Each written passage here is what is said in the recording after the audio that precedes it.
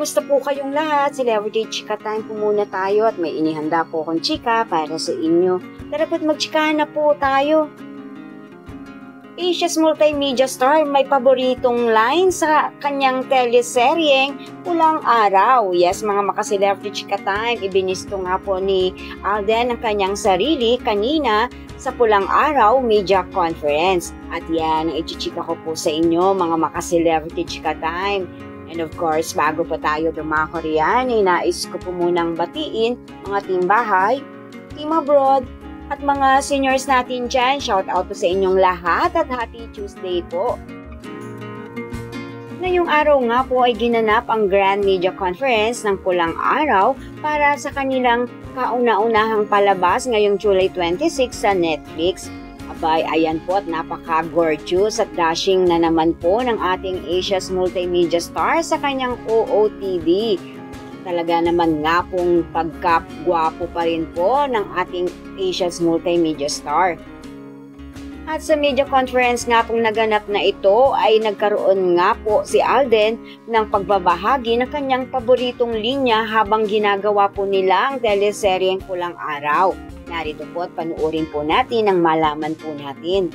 Maraming linya si Eduardo na malalim ang bugod Kagaya lamang nung uh, meron na isang line na nag-stick sa akin na uh, hindi ko makakalimutan. Kakashoot lang natin ito, Dre. Sabi ni Eduardo, mabuhay ang Pilipinas na lagi na lamang sinasakop ng mga dayuhan.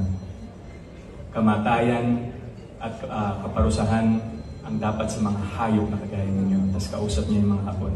So I, I think yung yung yung lalim nung nung despair, nung anger ni Eduardo to all the people who try to always you know, sakupin ng Pilipinas is, I think, yun ang common sentiments natin as Filipinos. Yun yung lagi nating tanong, bakit ba tayo laging sinasako? Bakit ba tayo nagpapasako? And I think, uh, doon ko na-discover na as early as 1940s, we always have that uh, mentality na parang uh, regardless kung maraming sumasakop sa atin, hindi hindi mawawala yung dugo ng pagiging Pilipino sa atin na lagi natin ipaglalaban kung ano yung tama para sa ating lahat. And I think that's one of the reasons uh, why I fell in love with the character of Eduardo kasi he always fights for something na dapat para sa lahat. Hindi lang kung ano yung sabihin ng ibang lahi or mga dayuhan sa atin na dapat nating gawin. Hindi ganun kadaling nagpe si Eduardo. Nilalaban niya.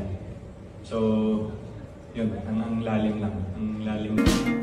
Yan po ang aking Chika Days for today. Salamat po sa inyong panunood. Huwag po kalimutang mag-subscribe. Pwede po mag-comment sa ibaba. Basta't wag lamang po hearts o nakakasakit sa isa't isa. Salamat po muli. Spread love, not hate.